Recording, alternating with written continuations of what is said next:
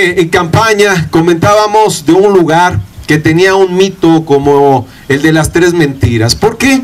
Porque no era ni plaza, ni era cívica, mucho menos, pues estaba muy bonita, o nada bonita, ¿verdad? Pero teníamos que trabajar y nos comprometimos en algo, en cambiar, en quitar ese mito que se decía a voces. Y San José Cuaro requiere un lugar de esparcimiento para nuestros hijos, para estos niños que van creciendo. ¿Cómo poder canalizar correctamente esa energía?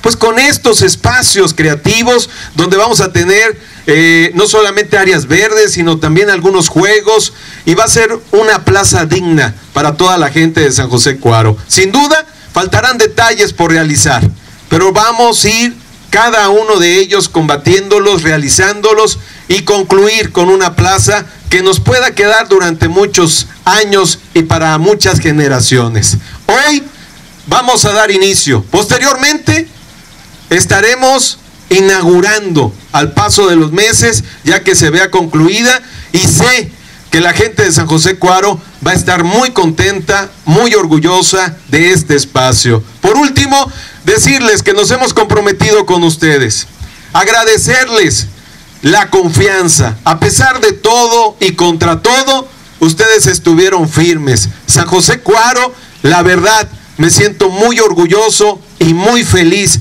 de poder contar con todo su respaldo. Y créanmelo, es una gran responsabilidad y estaremos contribuyendo y pagando con mucho trabajo estos tres años a partir de hoy, porque no hay que esperarse al primero de septiembre. Tenemos que demostrarlo y demostrarlo ya, como toda la gente de San José Cuaro lo demuestra día con día. Muchas gracias, amigas y amigos, y excelente día y que Dios los bendiga. Gracias.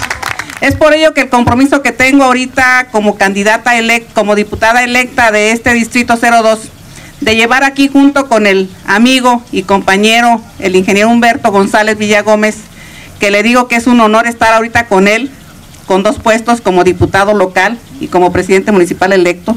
Yo creo que es la primera vez que esto me, me sucede en estos años de, de trabajo en, en, en, política. Y bueno, felicitarlos a, felicitarlo a él por este gran impulso que ha tenido en este municipio, tanto como presidente municipal y como diputado actual. Y tengo la seguridad de que después de esta obra vendrán muchas obras en beneficio de este municipio. Y efectivamente tendrán una aliada en el Congreso en la cual se etiquetarán diferentes programas y proyectos para beneficio de esta comunidad y de este municipio. Ténganlo ustedes por seguro que estaremos presentes y, y, no ausentes.